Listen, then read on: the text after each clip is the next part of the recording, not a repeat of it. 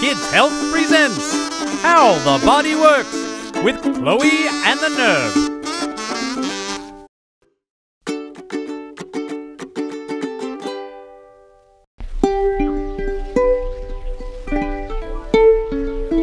Ah, how I love that.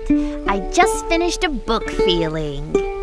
What are you reading, Nerve? I'm learning to be a sales nerd.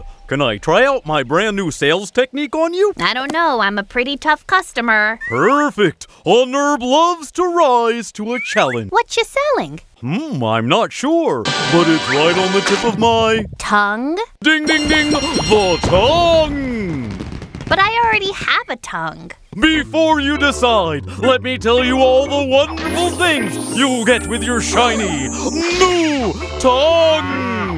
This amazing tongue can be used to talk, eat, and taste.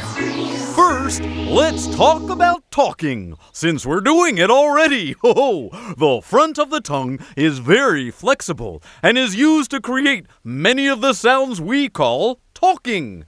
Just try to say this or that without it. Go ahead, I dare ya. What? Ugh. Oh. Wow, that is hard to say. And the back of the tongue helps with other sounds like K and G. How would we sing without this wondrous muscle in our mouth? Terribly. But with it,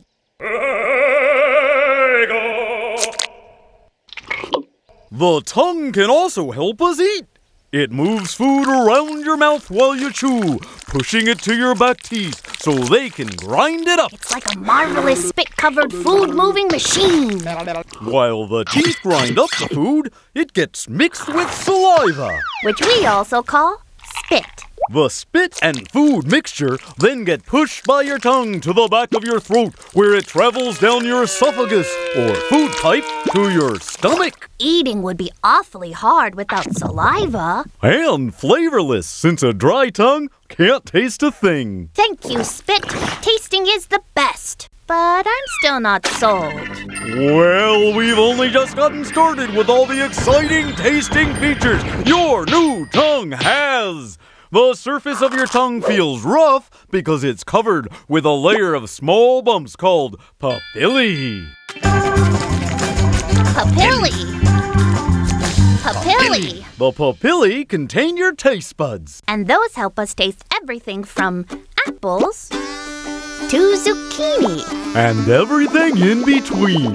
The average person has 10,000 taste buds. These amazing little bumps can detect sweet, sour, bitter, and salty flavors. Now you're just making me hungry. And you should be. Your brand new tongue can detect all four of these fabulous tastes at once. Now hold on, Nerve.